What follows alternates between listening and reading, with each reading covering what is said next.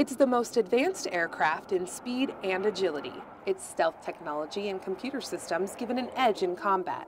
Pilots fly this fifth generation aircraft, the F 35, out of Luke Air Force Base daily. But on the ground, maintainers make sure the F 35 stays ready to train. Over time, debris builds up on the aircraft from the exhaust or the environment. So every 180 days, the maintainers bring them here to the wash rack. At the wash rack, maintainers tape off special areas of the jet that can't be washed with soap, like the canopy and glass panels. Then they suit up and scrub the jet with a watered down soap solution. The cleaning process is a point of pride for the maintainers. We love washing aircraft. When it comes to the cleaning portion, a lot of us take pride in our jets, so we want to have our aircraft washed and clean. Once the jet is rinsed and has had time to dry, maintainers tow it back to their squadron's aircraft maintenance unit. There, they begin the second stage of the cleaning.